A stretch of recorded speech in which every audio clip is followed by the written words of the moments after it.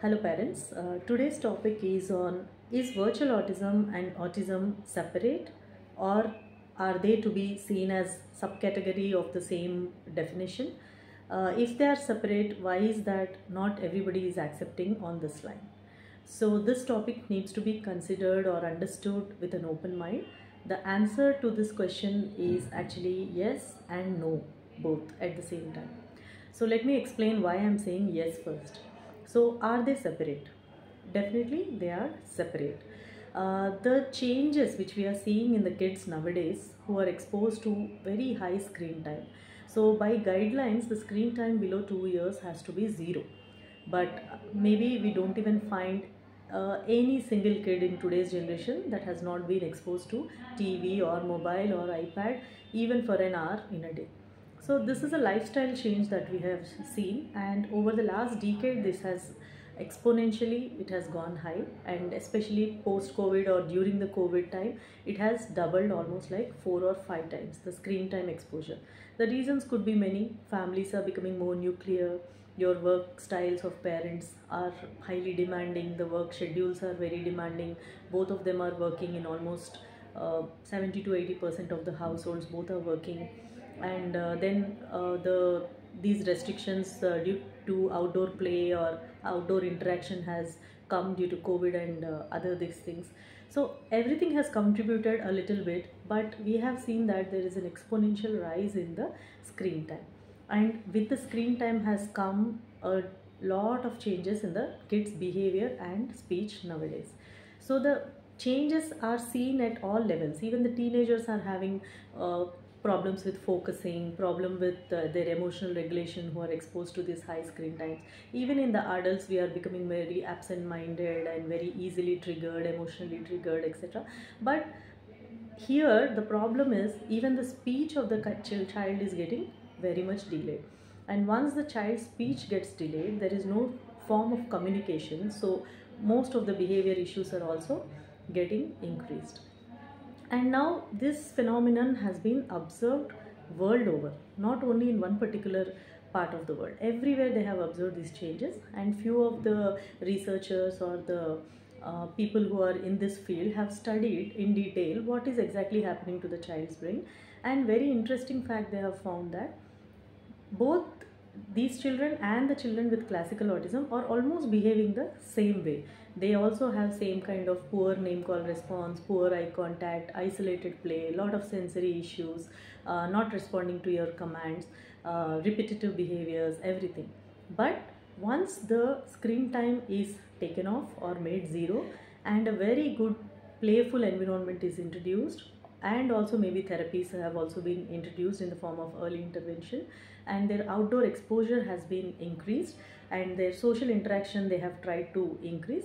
Then they have very interestingly observed that the changes are actually reversing very very fast which cannot be explained if they have an underlying classical autism. Because in a classical autism child these changes would come there would be improvements definitely with all the above said things but the changes cannot be so fast and so quick that the child will outgrow the diagnosis within few months this can never happen in a classical autism child so here we are seeing these virtual autism kids who are almost coming back to normalcy within few months.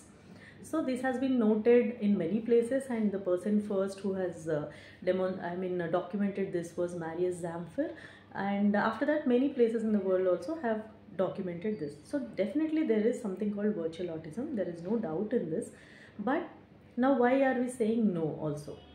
So yes I have explained that they are different. Now why am I saying no? So, but anything to be uh, officially accepted as a diagnosis. What I mean by officially is like on paper, if you can give the diagnosis as uh, virtual autism, only then we can say that it is an officially accepted diagnosis. So, at present, we cannot do that.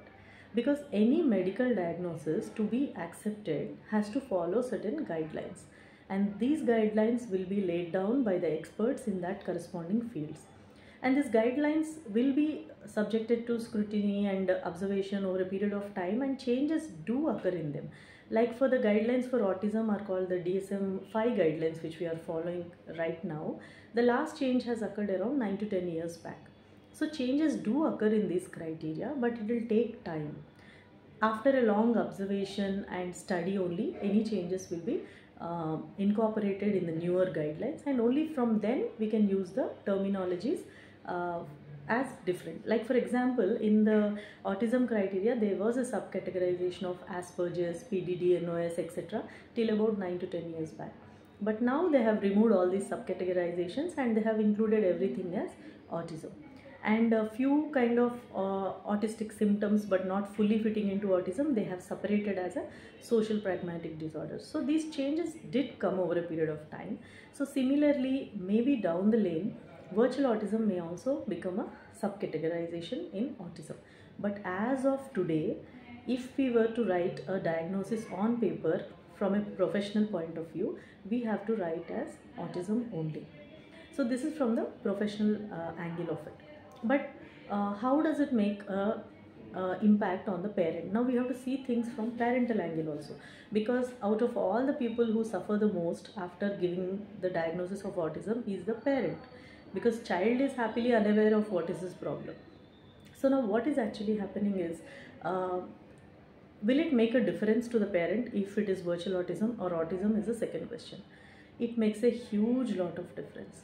So if a parent is correctly counseled that this child has deviated from normalcy because of poor social interaction or poor environmental stimulation and we have a very high chance of returning back to normalcy with early intervention and also home modification. The amount of confidence the parent has is very high.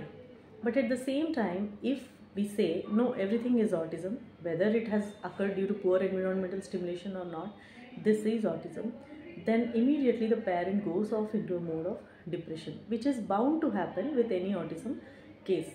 Because autism is like a like an uh, how can i say it's like a such a huge threat to a parent's mind. The moment they listen to the word uh, word autism it is almost equivalent to something like a cancer in a adult so my child easy autistic easy suffering from autism. And from there stems all the anxiety and confusion and then googling and they get into all these sorts of uh, unnecessary things and they search for unnecessary remedies etc and in this whole thing the child will be at loss because we are saying early intervention and home in interaction is the best uh, way of training this child. But at the same time when the mother or father is panicking in this way with autism diagnosis they cannot reach out to the child.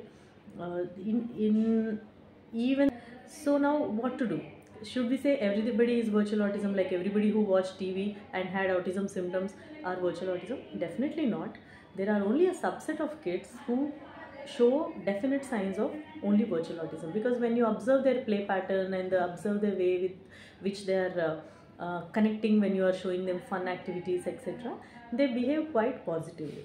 Whereas in a very classical autism kids they do not show that much of response to activities immediately. So there is a group which can be very classically labeled as autism at the onset and there is a group which can be labeled or at least uh, we can give that hope to the parents that this looks mostly like virtual autism. And there is always a group who, which is in between these two. There are few features of that there are few features of this also. So now what to do with them? So still the benefit of doubt can go to the child and the parent. You can say that there could be some genetic basis for autism in this child why only this child got affected due to screen time but anyway we cannot change the genetics. So Let's change the environment and see what happens in the next 6 months to 1 year.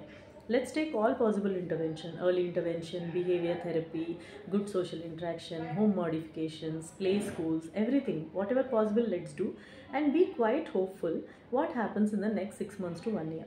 If they are not showing most of the signs they showed and they are reverting to normalcy, everyone is happy. And then retrospectively this diagnosis of virtual autism is almost like confirmed but if not and they have traits still positive after one year also then the slowly the parent is going to digest the diagnosis of autism. So this is from the parental angle that i am discussing this.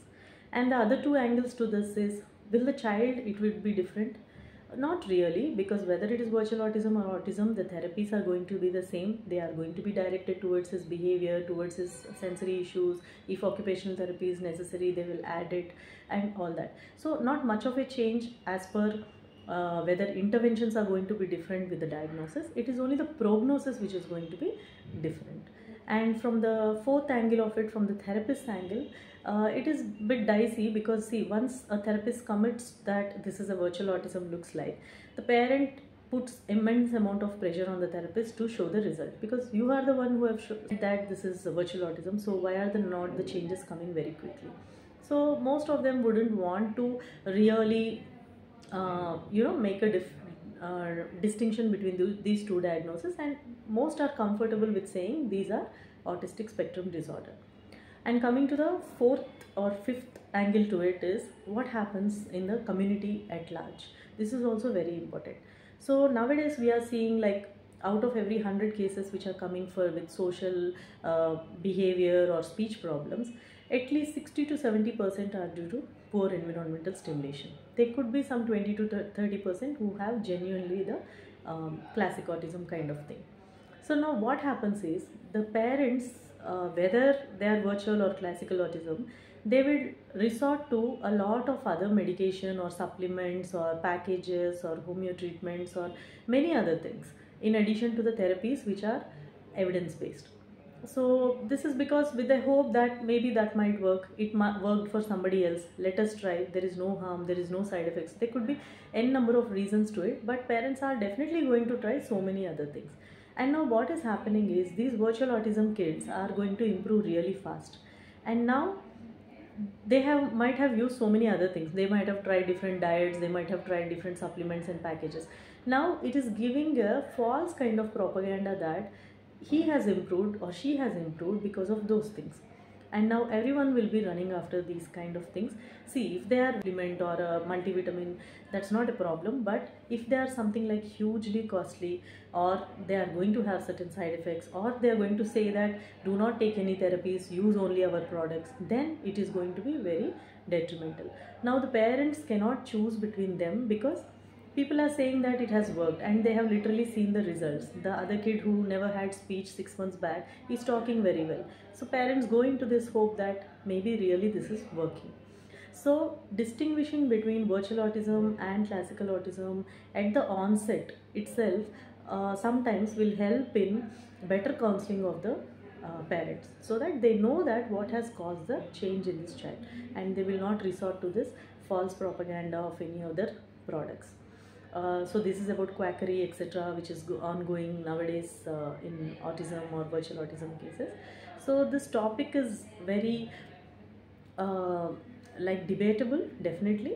So even at a professional level also there will be lots of debates going on whether we should call it virtual autism or not. But uh, in this whole uh, discussion my point is a parent if we can make them less stress free by clearly stating that this could be virtual autism. In few cases where it is very clear, we are actually going to help the child much better. In cases where we are not in very, very sure of the diagnosis, we will discuss with them in detail. And in some cases where the autism diagnosis is very, very clear from the uh, onset, we can counsel the parents slowly in a way that they understand. And in them also, we should be saying that environment has a huge impact. So let's change the environment and to the best benefit of the child. So i hope this video was uh, useful to you in understanding why we are not labeling virtual autism as a separate diagnosis. Such uh, videos on behavioral problems in kids you can subscribe to our channel. We'll keep in touch